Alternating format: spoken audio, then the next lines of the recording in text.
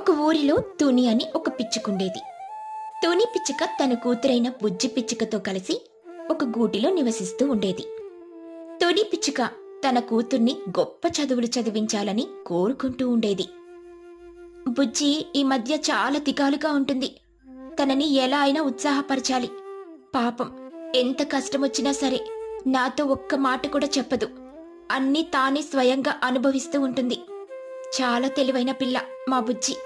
అయినా కష్టపడి చదువుకొని నా కష్టాన్ని దూరం చేయాలని అనుకుంటూ ఉంది.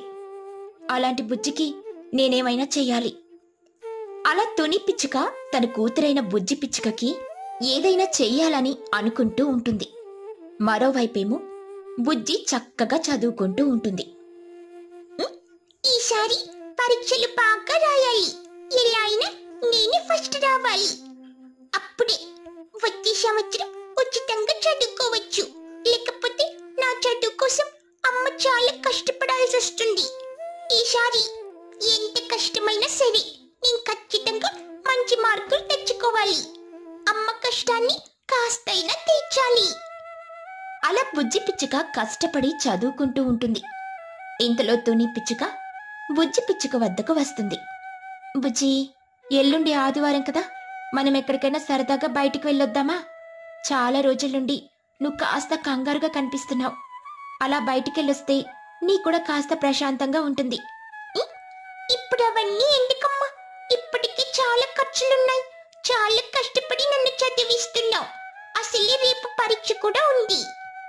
పరీక్ష ఉన్నది రేపేగా.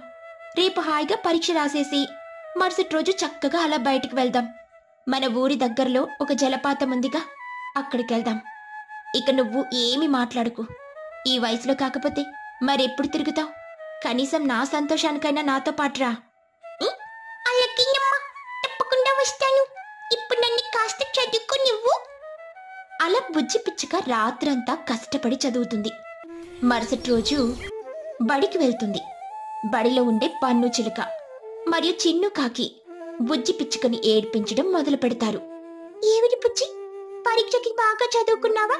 నిన్ను చూస్తుంటే చాలా జాలిగా ఉంది. నువ్వెంత బాగా చదివినా పదవ తరగతి వరకే చదువుకోగలవు. పెద్ద చదువులు చదువుకునే అంత స్తోమత నీకు లేదు. సరిగ్గా చెప్పావు బన్ను. చూడు బుజ్జి నువ్వెంత కష్టపడి చదివినా నువ్వు మాత్రం జీవితంలో స్థిరపడలేవు. అలా బుజ్జి పిచ్చుకని అవమానిస్తూ ఉంటారు. వారి మాటలు విన్న మహిగ్రద్ద టీచర్ ఇలా అంటుంది. ఆపండి మీ మాటలు. ఒకరి భవిష్యత్తుని నిర్ణయించడానికి మీరేమి దేవతలు కారు. బుజ్జి చాలా చక్కగా చదువుతుంది. బుజ్జి డబ్బు కట్టి చదువుకోవాల్సిన అవసరమే లేదు. తనకున్న తెలివితో ఎక్కడికి వెళ్ళినా ఫ్రీ సీట్ సంపాదించుకోగలదు. మీ చదువు గురించి మీరు ఆలోచించండి. నాకెందుకో ఈ పరీక్షల్లో మీరు ఫెయిల్ కాబోతున్నారని అనిపిస్తుంది. అలా మహికృత బన్ను చిలుక మరియు చిన్ను కాకిలతో అంటుంది. అలా మహికృత అనడంతో అక్కడున్న విద్యార్థులంతా వారిని చూసి నవ్వుతారు కోపంతో చిన్ను కాకి ఇంటికెళ్తాడు. ఏమిట్రా చిన్ను? ఎందుకంత చిరాగ్గా ఉన్నావు? అసలేమైంది ఏం చెప్పమంటావమ్మా? బుజ్జి కారణంగా నేను ప్రతిసారి అందరి ముందు అవమానాలు ఎదుర్కోవాల్సి వస్తుంది. ఇక నేను ఓపిక పట్టలేను. ఎలా అయినా బుజ్జిని నాశనం చేయాలి. బుజ్జిని బడికి రాకుండా చేయాలి. నీకేమో ఆ బుజ్జి పిచ్చి కంటే నచ్చదు. నాకేమో ఆ బుజ్జి తల్లైన తుని అంటే నచ్చదు. మనిద్దరి పగ ఒకటే. అయినా వాణ్ణి నాశనం చేసి ఈ ఊరి నుండి తరిమేద్దాం. అలా చిచ్చు కాకి చిన్ను కాకి తమ పగని తీర్చుకోవాలని నిర్ణయించుకుంటారు. మరోవైపేమో పరీక్షలు పూర్తి చేసుకున్న బుజ్జి పిచ్చుక తన తల్లైన తుని పిచ్చుకతో కలిసి జలపాతాలను చూడ్డానికని వెళ్తూ ఉంటుంది. చాలా రోజుల తర్వాత ఇలా హాయిగా బయటకు వెళ్ళడం నాకు చాలా సంతోషంగా ఉంది బుజ్జి. కష్టపడటమే సరిపోయింది. కనీసం ఇవాళైనా హాయిగా గడుపుతాం. అలా తుని పిచ్చుక బుజ్జి పిచ్చుక జలపాతాల వద్ద హాయిగా గడుపుతూ ఉంటారు. అలా కొంత సమయం గడుస్తుంది. ఉంది. ఇప్పుడు ఏం మనం ఇక్కడ తినడానికి నేను ఇంటి వద్దనే బిర్యానీ చేసి తీసుకొని వచ్చాను ఆలస్యం ఎందుకు? లాగిద్దాం పదమ్మా. అలా పుచ్చి పిచ్చుక తుని పిచ్చుక హాయిగా భోజనం చేస్తూ ఉంటారు. మరోవైపేమో చిన్ను కాకి మరియు చిచ్చు కాకి తుని పిచ్చుక ఇంటి వద్దకు వస్తారు. చూస్తూ ఉంటే తుని మరియు బుజ్జి ఇంటి వద్ద లేనట్టున్నారు. ఇదే సరైన సమయం. వాళ్ళు ఎంతో ప్రేమగా కట్టుకున్న ఈ ఇంటిని కూలచేద్దాం కట్టుకున్న ఇల్లు కూలిపోతే ఎవరు మాత్రం ఇక్కడుంటారు? అన్ని సర్దుకొని వేరే ఊరికి పారిపోతారు. అప్పుడు నువ్వు నేను ఈ ఊర్లో హాయిగా ఉండొచ్చు. అవును. చాలా మంచి ఆలోచన చేశావు. ఇంటిని నాశనం చేద్దాం. అలాగే ఈ ఊర్లో ఎవ్వరు వారికి ఆశ్రయం ఇవ్వకుండా చూసుకుందాం. అప్పుడు ఖచ్చితంగా వాళ్ళు ఈ ఊరిని విడిచిపెట్టి వెళ్ళిపోతారు. అలా చిన్ను కాకి మరియు చిచ్చు కాకి కలిసి తుని పిచ్చుక ఎంతో కష్టపడి కట్టుకున్న ఇంటిని కూల్చేస్తారు. ఏమీ తెలియనట్టు అక్కడి నుండి వెళ్ళిపోతారు. మరోవైపేమో బుజ్జి పిచ్చుక మరియు తుని పిచ్చుక తిరిగి ఇంటికొస్తూ ఉంటారు. దారిలో వాళ్ళకి ఒక పిలుపు వినిపిస్తుంది. ఎవరైనా ఉన్నారా? లోయలో పడిపోయున్నా. నన్ను కాస్త కాపాడండి. అమ్మ ఎవరో లోయలో పడిపోయినట్టున్నారు. సాయం కోసం వేచి చూస్తున్నారు. పదమ్మ వెళ్ళి వాళ్ళని కాపాడొద్దాం అలా బుజ్జి పిచ్చుక తుని పిచ్చుక లోయలో పడి ఉన్న లూసి పావురాన్ని చూస్తారు. రెండు రోజుల నుండి ఈ లోయలో పడి తిండి నిద్ర లేక చాలా నీరసించిపోయాను. దయచేసి నన్ను బయటకు లాగి కాపాడండి. మీకు కాస్త పుణ్యం ఉంటుంది. అలా లూసీ పావురం వేడుకోవడంతో తుని పిచ్చుక మరియు బుజ్జి పిచ్చుక ఒక తాడును తీసుకొనొచ్చి లోయలోకి విసిరేసి లూసీ పావురానికి అందిస్తారు. ఆ తాడు సహాయంతో లూసీ పావురం బయటకొస్తాడు. నన్ను కాపాడినందుకు చాలా ధన్యవాదాలు. నిజానికి నేను టెంట్ల నమ్ముకుంటూ ఉంటాను. ఆ రోజు రాత్రి దారి తప్పి ఇలా అడవిలోకి వచ్చాను. చీకట్లో కళ్ళు కనిపించక ఈ లోయలో పడిపోయాను. మీకు చాలా ధన్యవాదాలు. అయ్యయ్యో మిమ్మల్ని చూస్తుంటే చాలా జాలిగా ఉంది. చూస్తుంటే చాలా నీరసంగా కూడా ఉన్నారు. మా వద్ద ఉన్న ఈ ఆహారాన్ని తీసుకోండి. కాస్త తినండి. అలా తుని పిచ్చుక లూసీ పావురానికి కొంత ఆహారాన్ని పెడుతుంది. మీ సహాయాన్ని నేనెప్పటికీ మర్చిపోలేను. ప్రస్తుతం మీకివ్వడానికి నా వద్ద ఏమీ లేదు. నేనమ్మే ఈ టెంట్ తప్ప. ఇదిగోండి. నా వద్ద ఉన్న ఈ రెండు టెంట్లని తీసుకోండి. ఎప్పటికైనా ఉపయోగపడొచ్చు. ఉపయోగపడిన సమయంలో నన్ను తలుచుకోండి. అలా చెప్పి లూసీ పావురం అక్కడి నుండి వెళ్ళిపోతాడు. తుని పిచ్చుక మరియు బుజ్జి పిచ్చుక కలిసి తమ ఊరిలోకి వెళ్ళిపోతారు. తమ ఇల్లు ఉన్న ప్రదేశాన్ని చూసి ఆశ్చర్యపోతారు. అరే ఏమిటిది? నా ఇల్లు ఎలా కూలిపోయింది? చుట్టుపక్కల ఉన్న అందరి ఇల్లు బాగానే ఉన్నాయి. కేవలం నా ఒక్క ఇల్లు మాత్రమే. ఎలా ధ్వంసమైంది అమ్మ ఎవరు కావాలని చేసినట్టున్నారు ఇలా కేవలం మన ఇల్లు మాత్రమే కూలిపోవడం వెనుక ఎవరో ఉన్నారు. నేనెవరికీ ఎలాంటి అన్యాయం చేయలేదు. అయినా ఇలా నా ఇల్లుని ధ్వంసం చేయాలనే కోరిక ఎవరికుంది? ఎంతో కష్టపడి కట్టుకున్న ఇంటిని ఇలా చూడ్డం చాలా బాధ కలిగిస్తుంది. ఇప్పటికిప్పుడు ఎక్కడికి వెళ్ళాలి? ఎలా నివసించాలి? అలా తుని పిచ్చుక బాధపడుతూ ఉంటుంది. ఇంతలో బుజ్జి పిచ్చుకకి తమ వద్ద ఉన్న టెంట్లు గుర్తుకొస్తుంది. బుజ్జి పిచ్చుక లూసి పౌరం ఇచ్చిన టెంట్లతో ఒక టెంట్ని ఉపయోగించి ఒక మంచి టెంట్ ఇంటిని తయారు చేస్తుంది. ఈ టెంట్ ఇంటిని చూడమ్మా ఎంత అందంగా ఉందో! అరే అవును. మనం ఇవాళ ఉదయం చేసిన సాయం రాత్రికి ఇలా ఉపయోగపడుతుందని అనుకోలేదు. మనకిలా సహాయం చేసిన ఆ లూసి పావడానికి చాలా ధన్యవాదాలు. అలా తొడి పిచ్చుక బుజ్జి పిచ్చుక కలిసి టెంట్ ఇంట్లో సామాన్లను పెట్టి హాయిగా నివసిస్తూ ఉంటారు. మరోవైపు చిచ్చు కాకి మరియు చిన్ను కాకి కుళ్ళుతో రగిలిపోతూ ఉంటారు. ఊరిని వదిలి వెళ్ళిపోతారని అనుకుంటే ఇక్కడే టెంట్ వేసుకొని మరీ నివసిస్తున్నారా పిచ్చుకలు.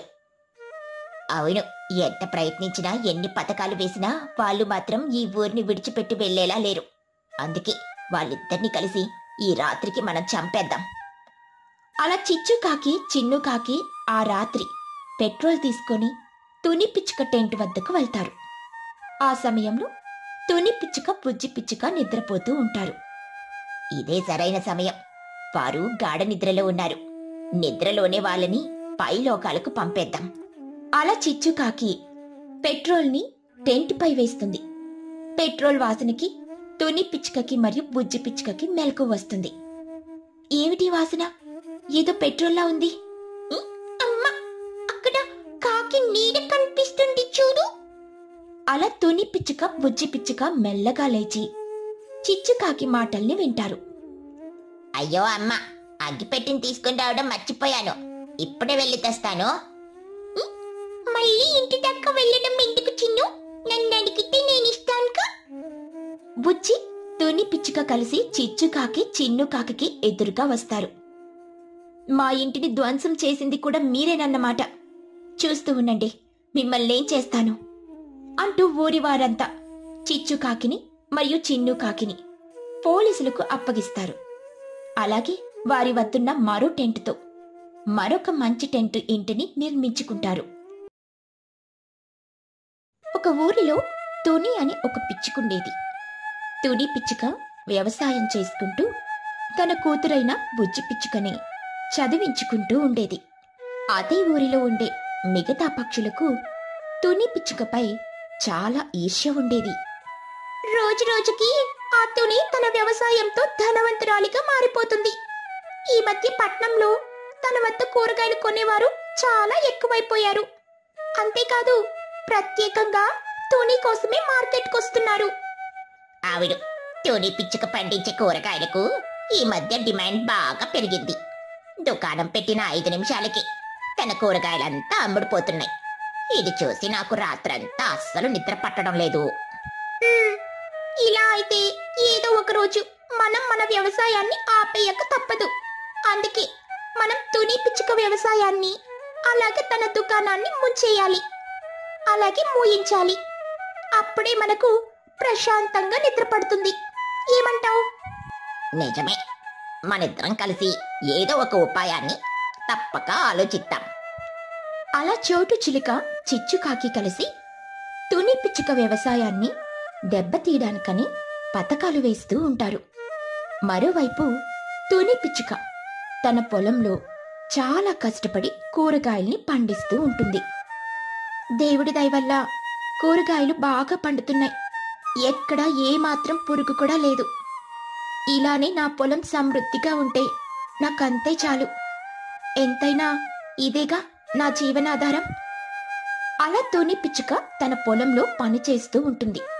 ఇంతలో బడి నుండి బుజ్జి పిచ్చుక సరాసరి పొలానికి వస్తుంది. బుజ్జి ఏమిటి? అప్పుడే వచ్చేసావు? అమ్మా! ఇవాళ త్వరగా పడి కంటి కొట్టారు. అందుకే సరాసరి నేను ఇక్కడికి వచ్చాను. పొలంలో చాలా హాయిగా ఉంటుంది. చక్కగా ఆడుకోవచ్చు కూడా. అంటూ బుజ్జి పొలంలో ఆడుకుంటూ ఉంటుంది. మరోవైపేమో తుని పిచ్చుక శ్రద్ధగా పనిచేసుకుంటూ ఉంటుంది. ఈ వంకాయలు భలే మిలమిల్లాడుతున్నాయి ఒకటి కోసి చూస్తాను.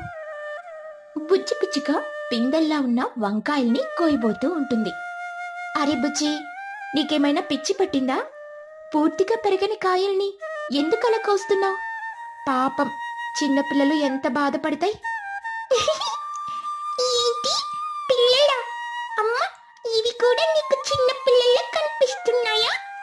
బుజ్జి నా పొలంలో పండే ప్రతి కూరగాయ అలాగే ఇక్కడ మొలిచే ప్రతి మొక్క నాకు కన్న బిడ్డతోనే సమానం.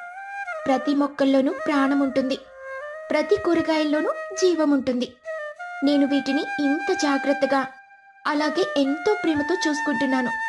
కాబట్టి నేను పెంచే కూరగాయలకు పట్నంలోని మార్కెట్లో అంత డిమాండ్ ఉంది ప్రేమతో వ్యవసాయం చేస్తే పండే ప్రతి కూరగాయ మరింత రుచిగా మారుతుంది. మన ఊళ్ళో వ్యవసాయం చేసే వారికి పోటీ పెట్టి బహుమతులు ఇవ్వాలని అనుకుంటే మొదటి బహుమతి నీకే లభిస్తుందమ్మా. చాలు చాలే పద. అసలే చీకటి పడుతుంది. ఇంటికెళ్ళి వంట వండుకొని తినేలోపు చాలా ఆలస్యం అవుతుంది ఇవాళ అసలే బాగా పనిచేసి అలసిపోయాను. ఆకలి కూడా వేస్తుంది. పద ఇంటికి వెళ్దాం. అలా తూని పిచ్చుక పుచ్చి పిచ్చుక ఇంటికెళ్ళిపోతారు. మరోవైపేమో చోటు చిలుక అలాగే చిచ్చుకాకి కలిసి ఆ ఊరి పెద్దయిన మహిగ్రద్ద వద్దకు వెళ్తారు. మహిగ్రద్దతో ఇలా అంటారు. మహిగ్రద్ద గారు మిమ్మల్ని చూస్తుంటే నాకు చాలా బాధగా ఉంది. వయసులో చాలా పెద్దవారు అలాగే మీకు చాలా అనుభవం కూడా ఉంది. మిమ్మల్ని పట్టుకుని ఆ తుని ఎన్ని మాటలన్నదో. అవును మహిగ్రద్ద గారు వినడానికి మాకు చాలా బాధ కలిగింది. బాధ తట్టుకోలేకే ఇలా మీ వద్దకొచ్చాం. తుని నన్ను తిట్టిందా? ఏమని తిట్టింది? ఈ ఊరిలో తనకంటే గొప్ప రైతు మరెవ్వరూ లేరట. మీరు కూడా తన ముందు పనికిరారట అంతేకాదట మీకు ఏ పని చేయడం చేత కాదట. ఏదో ఒకరోజు మిమ్మల్ని పక్షుల ఎన్నికలలో ఓడించి తనే ఊరి పెద్దగా మారుతానని శపథం కూడా చేసింది. ఏమిటి? ఇన్ని మాటలు మాట్లాడిందా అతుని? తుని తననేం చేస్తాడో చూడండి. ఏం చేసినా చాలా గట్టి దెబ్బ మాత్రం కొట్టాలి. ఒక పని చేద్దాం. మనం ఒక నాటకం ఆడుదాం. మీరొక కఠినమైన నియమాన్ని పెట్టండి. ఎవరు ఎలాంటి పంటని పండించాలని అనుకున్నా ముందుగా మీ వద్దకొచ్చి అనుమతి తీసుకోవాల్సిందిగా ప్రకటించండి. ఒకరు పండిస్తున్న పంటని మరొకరు పండించడానికని వీల్లేదు అన్నట్టు ప్రకటించండి. అలా మనం ఊరిలోని వారితో చేయి కలిపి తుని పిచ్చుక పండించడానికి ఏ కూరగాయ మిగలకుండా చేద్దాం. అప్పుడు చూద్దాం ఎలా వ్యవసాయం చేస్తుందో. అలా చోటు చిలుక చిచ్చుకాకి మహిగ్రద్ద మాట్లాడుకుంటారు. మరుసటి రోజు మహిగ్రద్ద ఊరిలో ఒక చాటింపు వేయిస్తుంది. చూడండి రేపటి నుండి నేను ఈ ఊరి నియమాలన్నిటినీ మార్చబోతున్నాను. ఎవరైనా వ్యవసాయం చెయ్యాలి అని అనుకుంటే ముందుగా నా వద్ద అనుమతి తీసుకోవాల్సి ఉంటుంది. ఒకరు పండించే పంటని మరొకరు ఖచ్చితంగా పండించడానికి వీల్లేదు. రేపే ఆఖరి రోజు. పక్షులంతా వచ్చి తాము పండించే పంట గురించి నాతో తప్పక చర్చించాలి.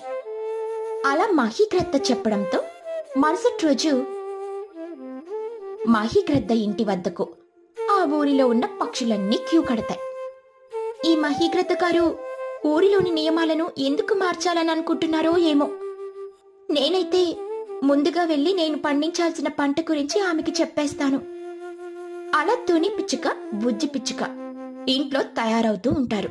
ఇంతలో చిచ్చుకాకి తుని ఇంటి వద్దకు వెళ్ళి ఎవ్వరు చూడకుండా తలుపులకు కొల్లం పెడుతుంది. అరే ఈ తలుపులేమిటి? అస్సలు తెరుచుకోవడం లేదు. అమ్మ ఎవరో బయట నుండి గడియేసేశారు అలా చిచ్చుకాకి తలుపులు గడియ పెట్టడంతో బుజ్జి పిచ్చుక తుని పిచ్చుక ఇంట్లోనే బందీలుగా ఉండిపోతారు. అలా కొంత సమయం గడిచిపోతుంది. తుని పిచ్చుక బుజ్జి పిచ్చుక కలిసి ఏదో ఒకలాగా తలుపుల్ని బద్దలు కొట్టి బయటకొస్తారు. తుని పిచ్చుక హుటాహుటిన మహీగ్రద్ద వద్దకు వెళ్తుంది. క్షమించండి మహీగ్రద్ద గారు కాస్త ఆలస్యమైంది. నేనేమో గోబీ పంట వేయాలని అనుకుంటున్నాను. చాలా ఆలస్యం చేసావు తుని. ఆ పంటని ఇప్పుడే లీలా పిచ్చుక సొంతం చేసుకుంది. అంతేకాదు నువ్వు ఈ ఊర్లో పండించడానికి ఏ ఒక్క కూరగాయ కానీ ఏ ఒక్క పంట కానీ లేదు. ఊరిలో ఉన్న మిగిలిన అందరు పక్షులు కూరగాయల్ని తమ పేరుపై బుక్ చేసుకున్నారు. అలా మహీగ్రద్ద చెప్పడంతో తుని పిచ్చుక నిరాశగా ఇంటికి బయలుదేరుతుంది. ఇదంతా ఎవరు కావాలని చేస్తున్నారని అనుకుంటున్నాను. లేకపోతే సరిగ్గా అదే సమయానికి ఎవరో వచ్చి ఇలా చేయడం ఏంటి? అలా బుజ్జి పిచ్చుక తుని పిచ్చుక దారిలో ఒక చెట్టు కింద కూర్చొని బాధపడుతూ ఉంటారు. ఇంతలో తమ వద్దకు ఒక గుడ్డొస్తుంది. ఆ గుడ్డు ఒక మాయా గుడ్డు. గుడ్డు వారితో మాట్లాడడం మొదలు పెడుతుంది మిత్రులరా మీ బాధ ఏమిటో నాకు బాగా తెలుసు. మీరలా బాధపడితే ఎలా? గుడ్డు మాట్లాడుతుందా? చూడ్డానికి చాలా ఆశ్చర్యంగా ఉంది. ఆశ్చర్యాన్ని కాస్త పక్కన పెట్టండి. ముందు నేను చెప్పే మాటల్ని వినండి. కేవలం కూరగాయలే పండించాలా ఏంటి? మీరు నేనిచ్చే విత్తనాలతో గుడ్లను పండించండి. గుడ్లను పండించడమా? అది ఎక్కడైనా గుడ్లు భూమిపై పండుతాయా? నేనిచ్చే విత్తనాలను నాటితే ఖచ్చితంగా పండుతాయి. ఇప్పుడే వెళ్ళి ఆ మహిగ్రద్ద దగ్గర గుడ్లను పెంచుతానని అనుమతి తీసుకోండి. అలా తుని పిచ్చుక మహిగ్రద్ద వద్దకు వెళ్ళి తాను గుడ్లను పెంచుతాను అని అనుమతి తీసుకుంటుంది. మహిగ్రద్ద నవ్వుకొని తుని పిచ్చుకతో సరేనని చెప్తుంది. అలా మాయగుడ్డు తుని పిచ్చుకకు కొన్ని విత్తనాలను ఇస్తుంది. విత్తనాలను తుని పిచ్చుక భూమిలో నాటుతుంది. విత్తనాలను ఇచ్చినందుకు చాలా ధన్యవాదాలు. ఇక నేను హాయిగా వ్యవసాయం చేసుకుంటా. కేవలం విత్తనాలు ఇవ్వడంతోనే నా పని పూర్తవ్వలేదు. ఈ గుడ్లతో వ్యవసాయం చేయడం చాలా కష్టమైన పని. నువ్విప్పుడు పొలానికి నీరు కాదు పాలను పట్టించాల్సి ఉంటుంది. అప్పుడే గుడ్లు చెట్టుకి కాస్తాయి. ఏంటి? పాలను పట్టాలా? ఆశ్చర్యంగా ఉంది. అంటూ తుని పిచ్చుక ఆ పొలంలో నీటిని పోయడానికి బదులుగా ప్రతి మొక్క వద్ద పాలను పోస్తుంది. కొన్ని రోజులు గడుస్తుంది. పొలంలో మొక్కలకు పురుగు పట్టడం మొదలవుతుంది. అయ్యయ్యో! పొలంలో ఎక్కడ చూసినా మొక్కలకి పురుగు పట్టుంది. ఇదిగో మాయాగుడ్డు నేను ఇప్పుడే వెళ్ళి ఎరువులు కొని తీసుకొని వస్తాను నువ్వు కాస్త ఈ పొలాన్ని జాగ్రత్తగా చూస్తూ ఉండు. ఈ ఊర్లో నేను నాశనం అవ్వాలని కోరుకునే వాళ్ళు చాలా మంది ఉన్నారు. నాశనాన్ని కోరుకునేవారు చాలా మంది ఉండొచ్చు. కానీ నేను మాత్రం నీ మంచినే కోరుకుంటాను. నువ్వు దుకాణానికి వెళ్ళి ఎరువులు కొంటే ఏమాత్రం లాభం ఉండదు ఏ? ఎందుకు? ఎందుకు లాభం ఉండదు ఎందుకంటే ఈ మొక్కలకి ఎరువులు పని చెయ్యవు కాబట్టి. మొక్కకు పట్టిన పురుగు పోవాలంటే కోడి ఈకల్ని తెచ్చి ఈ పంటకి ఎరువుగా వెయ్యాలి. అప్పుడే పట్టిన పురుగు వదులుతుంది. ఏంటో చాలా ఆశ్చర్యంగా ఉంది. సరే నువ్వు చెప్పినట్టే వెళ్ళి కోడి ఈకల్ని తీసుకొని వస్తాను అలా పిచ్చుక కోడి ఈకల్ని తీసుకొనొచ్చి మొక్కలకు ఎరువులా చల్లుతుంది. ఇదిగో మాయాగుడ్డు నువ్వు చెప్పినట్టే చేశాను. ఇప్పుడు మొక్కలకి పట్టిన పురుగు మాయమైపోతుందిగా. తప్పకుండా మాయమైపోతుంది. నువ్వు కేవలం నాపై నమ్మకాన్నుంచు అంతే. అలా పిచ్చుక మాయాగుడ్డు చెప్పిన ప్రతి విషయాన్ని ఆచరిస్తూ కష్టపడి పొలంలో పనిచేసి కొంతకాలం గడవగా మొక్కలకు ఆశ్చర్యంగా గుడ్లు పండుతాయి. చాలా ఆశ్చర్యంగా ఉంది. నా కళ్ళని నేనే నమ్మలేకపోతున్నాను. తుని ఇప్పుడు ఈ గుడ్లని కోసుకుని ఒక బుట్టలో పెట్టుకుని ఊరిలో అన్ని పక్షులు చూస్తూ ఉండగా వీటిని అమ్మడానికి పట్నానికి వెళ్ళు. అలా మాయాగుడ్డు చెప్పడంతో తుని పిచ్చుక ఆ గుడ్లను కోసుకొని ఒక బుట్టలో పెట్టుకుని బయటికి వెళ్తుంది. మహీగ్రద్ద చోటు చిలుక చిచ్చుకాకి ఆశ్చర్యంతో తుని వైపు చూస్తూ ఉంటారు. తుని నిజంగా అసాధ్యురాలు. ఆ రోజు పిచ్చి పట్టి మాట్లాడుతుంది అని అనుకున్నాను కానీ నిజంగా గుడ్లను పండిస్తుందని అనుకోలేదు. తుని సామాన్యురాలు కాదు. ఏదైనా సాధించగలుగుతుంది. తుని పక్కనే ఉంటే ఈ ఊరిలో నాకు గౌరవం పెరుగుతుంది. అంటూ మహీగ్రద్ద కూడా తుని పిచ్చుకని పొగడడం మొదలు పెడుతుంది తుని పిచ్చుక తాను పండించిన గుడ్లను పట్టణంలో అమ్మి డబ్బుల్ని సంపాదిస్తుంది. తుని పిచ్చుకపై ఈర్ష్యపడ్డ చోటు చిలుక చిచ్చుకాకి మాత్రం బాధతో కుమిలిపోతూ ఉంటారు